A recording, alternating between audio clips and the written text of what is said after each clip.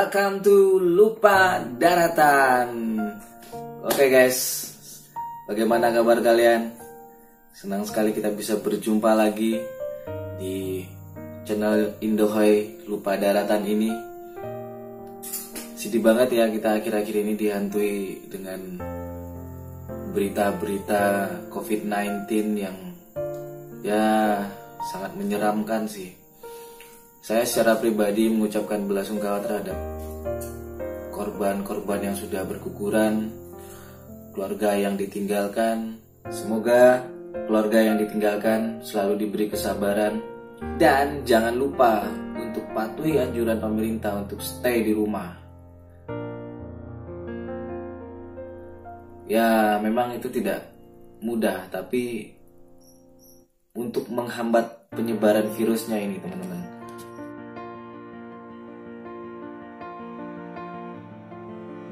Jangan sampai uh, eh, COVID-19 ini menjadi momok atau virus yang mencelakai kita semua.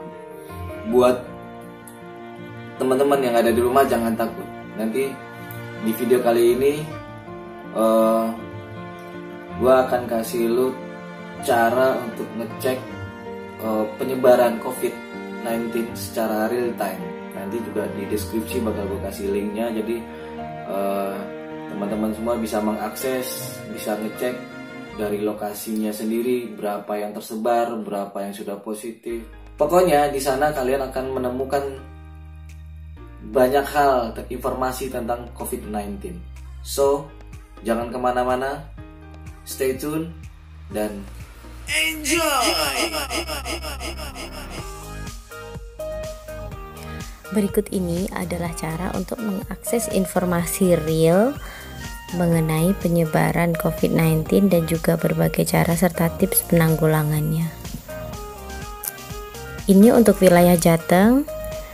Alamat webnya bisa dilihat di sini adalah https corona.jatengprof.com go.id slash kita klik OK.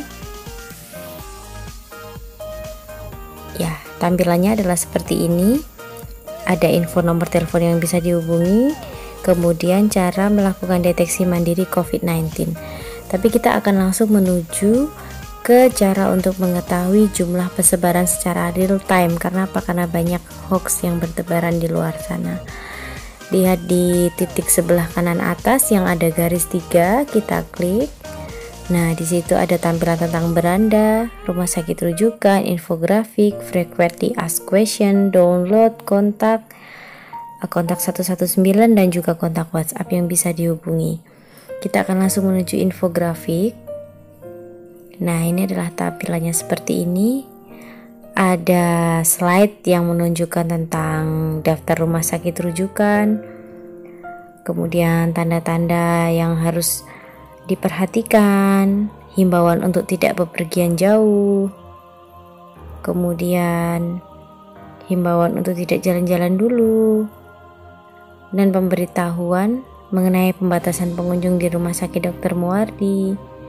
Yang lainnya bisa dilihat sendiri kita akan langsung menuju cara untuk mengetahui jumlah penderita, suspek, ODP maupun pasien dalam pengawasan. Slide tadi kita tarik ke atas terus sampai kita menemukan gambar peta. Nah, ini dia adalah petanya. Kita akan membaca peta berdasarkan kabupaten atau kota terlebih dahulu ini khusus untuk Provinsi Jawa Tengah ya, karena nanti untuk provinsi lain akan ada linknya sendiri. Misalnya kita mau mengetahui informasi mengenai daerah Klaten. Kita zoom menuju Kabupaten Klaten, kemudian klik di tombol titik. Nah, di sini akan tampak berapa jumlah ODP di Klaten, jumlah PDP atau pasien dalam pengawasan, dan juga jumlah penderita. Kabar baiknya adalah di Kabupaten Klaten sampai pada data ini diupdate penderitanya masih nol. Kemudian kita coba di kota Surakarta. Ternyata sudah ada 69 ODP, 22 PDP dan juga 7 penderita positif COVID-19. Kita coba daerah lain yang agak jauh, misalnya Wonosobo. Di Wonosobo pun ternyata sudah ada 208 ODP, 2 PDP dan 1 pasien positif COVID-19. Selain peta persebaran berdasarkan kabupaten, kita juga bisa melihat berdasarkan data rumah sakit.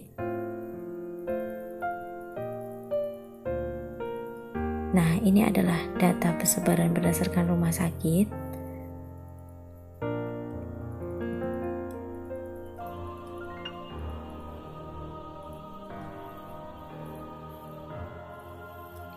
Ini misalnya di Rumah Sakit Dr. Sujono Magelang yang saya tandai yang ada bergambar warna merah ini.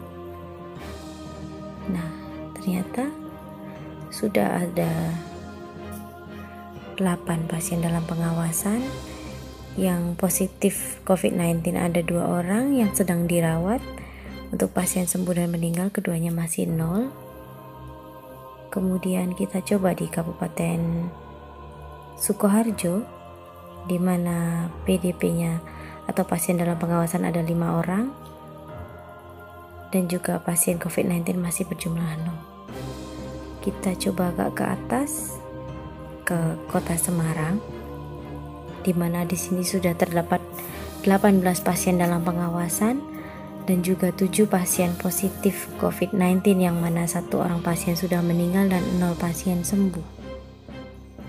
Ya, berikut adalah cara mengetahui dari Provinsi Jawa Tengah. Di dalam laman ini kita juga bisa melihat berbagai informasi yang bisa dibaca, yang mana ini adalah fakta. Jadi uh, sangat jauh dari hoax. Ini di bagian atas adalah ringkasan dari satu provinsi Jawa Tengah, di mana di provinsi Jawa Tengah terakhir update Rabu 25 Maret 2020 pukul 16 waktu Indonesia Barat ada 2.858 ODP di mana 270 orang ini masih mengalami menjalani perawatan dengan rincian 38 kasus positif. 4 orang meninggal dan 34 orang dirawat. Tadi ini adalah daftar rumah sakit tempat di mana pasien dirawat. Daftar kasus-kasus meninggal akibat COVID-19.